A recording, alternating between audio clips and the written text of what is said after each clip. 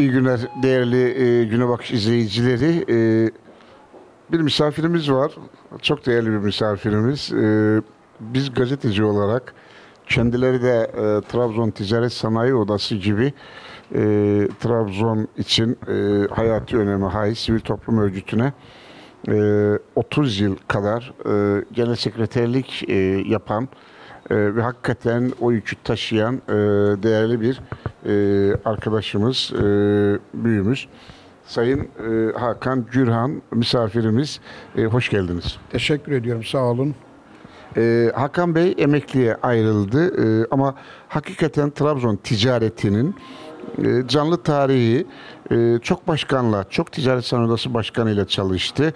E, biz e, ondaki başkanlarla ilgili odada neler yaşandığından değil de çalıştığı başkanlarla ilgili e, şehrin hafızası e, bağlamında e, küçük mini bir röportaj yapmak istiyoruz. E, önce ne zaman başladık ticaret sanayi odasında göreve?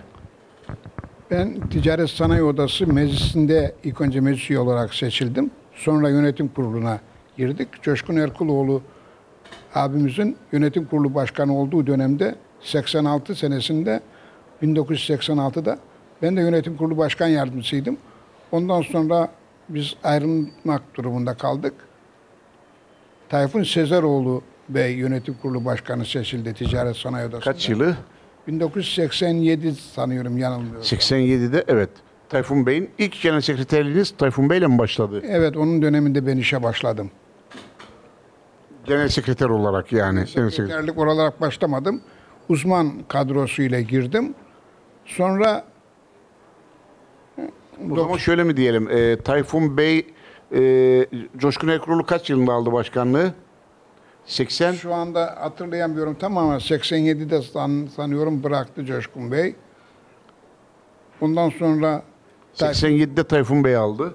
92'ye kadar o devam etti. 92'de önce Tayfun Bey bırakınca bir ara yönetim kurulu boşluğu doğdu. O arada Yani bir, bir gelenek vardı. Malum bildiğimiz bir gelenek. İkinci dönem düşürüyorlardı başkanları. Hep meclis, meclis düşürüyordu. Onun gibi O bir şeydi yıllarda- galiba. O yıllarda iki yılda bir seçimler oluyordu. Evet. Meclis Yönetim Kurulu Başkanı seçimleri oluyordu. Bu arada bir boşlukta Cevdet Eyüboğlu abimiz başkan oldu. Ondan- Bir yıl kadar bir sürdü. yıl kadar onunla çalıştık. Ondan sonra 92'de seçimler olunca Masar Afacan Bey başkan oldu. Allah rahmet eylesin. Amin. Allah rahmet. Bey de yaşamıyor galiba. O da Allah rahmet eylesin. Allah Tabii rahmet ölenlere eylesin. Allah rahmet diliyoruz. Ama bu dönemlerde meclis başkanımız hep Ali Osman Ulusoy Bey'di. Allah rahmet eylesin. O da çok önemli bir şahsiyeti Trabzon için ve Ticaret Sanayi Odası için. Sözü dinlenen Trabzon için önemli bir şahsiyet. Yani Ulusoy'a rağmen e, başkanlıkta çok etkindi öyle diyelim. Evet. Ulusoy e, tabii meclis başkanı olarak icraatta değil de yönetimsel olarak ve Ticaret Sanayi Odası'nın diğer odalar nezdindeki itibarı ve şeysi olarak çok önemliydi. Aynı zamanda Odalar ve Borsalar Birliği'nde olduğu için önemliydi. Evet. Tabii. Biz ayrıntılara girmeyelim. Başkanları sıralayalım. E, Masaraf Acan Masar Afacan Bey'den sonra Şadan Bey başkan oldu. kaç yılı? İki dönem sanıyorum o seks- 98 mi? 2000 2000'de oldu Şadan Bey. 2000 İşte o yıllarda, o civarda, 2002 iki, civarı, evet. evet. civarda oldu. Ondan sonra Şadan Bey'den sonra Suat Bey üç dönem başkanlık yaptı. en uzun dönem Suat Bey kaldı değil mi? Uzun dönem üç dönem oldu onun. Diğerleri 12 yıl. 12 yıl evet. 3 4'den 12 yıl. Ondan sonra en uzun dönem e, e, Şadan Bey yaptı. Evet. 8 yıl. 8 yıl. E, Şey de iki dönem yaptı ama onun 8 yıl değildi. Seçimler daha kısa dönemde oldu. Tayfun Bey'in. Yok. E, Masar abi. Yok o 6 6 yıl yaptı Şadan. Şey 2 dönem evet, bir buçuk dönem oldu. Bir buçuk dönemde ayrıldı evet o da ayrıldı. Bıraktı yani.